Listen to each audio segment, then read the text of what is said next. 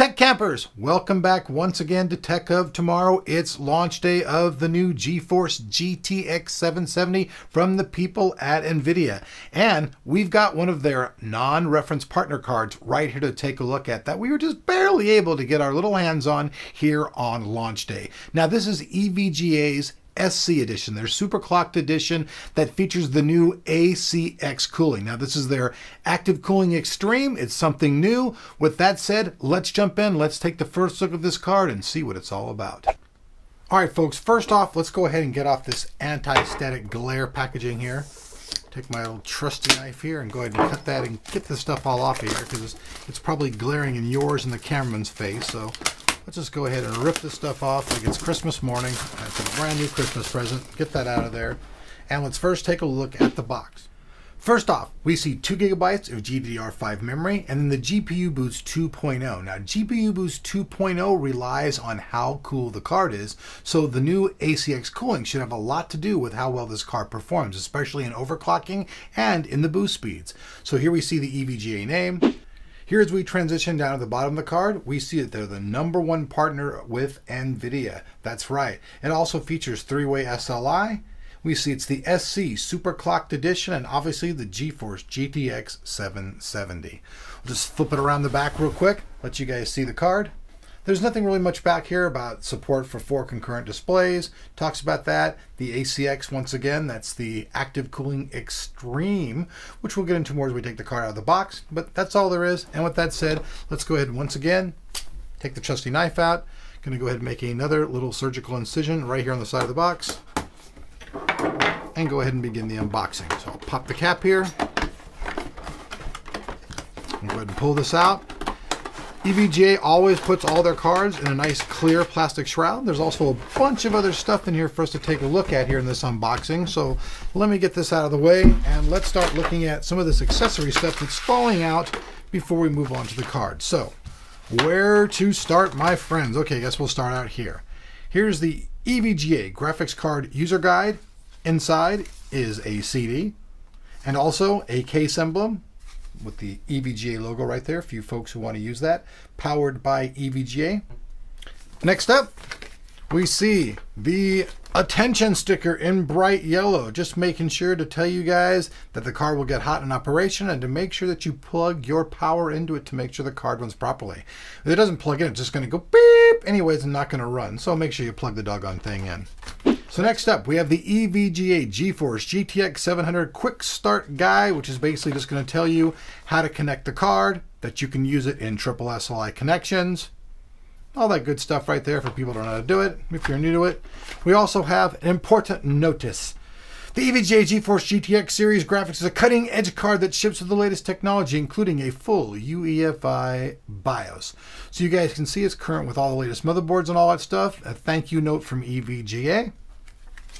We also get stickers, enthusiast built, EVGA enthusiast built.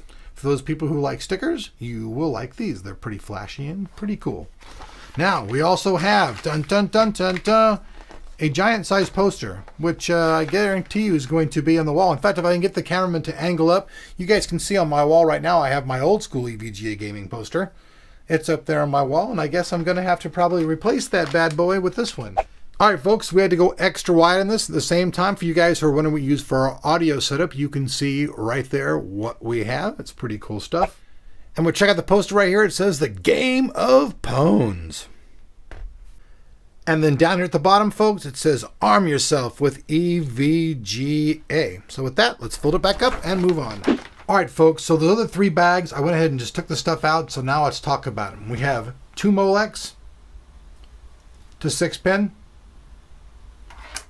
then this plugs into your 8 pin power on your card. And if you don't have the proper type of connection, there are two 6 pin adapters right here so you can use those on your power supply. Last but not least, we have the DVI to VGA adapter. So that's all the stuff as far as accessories. Now let's jump in and look at the card. All right, folks, so here's the card. And you guys can see this thing actually looks quite badass. It's all black on the shroud, features two fans, you see the EVGA name and the GeForce GTX 770 right here on the side of the card. Now down here on the bottom, it's a little more difficult to see, but it says ACX, Active Cooling Extreme. You guys can see that down there. That's everything that's on the front of the card. Now, I don't know, personally, I just think as far as looks go, this thing looks really, really cool. Now, you guys can see it's a dual slot design. See, they've mixed a little gold in there.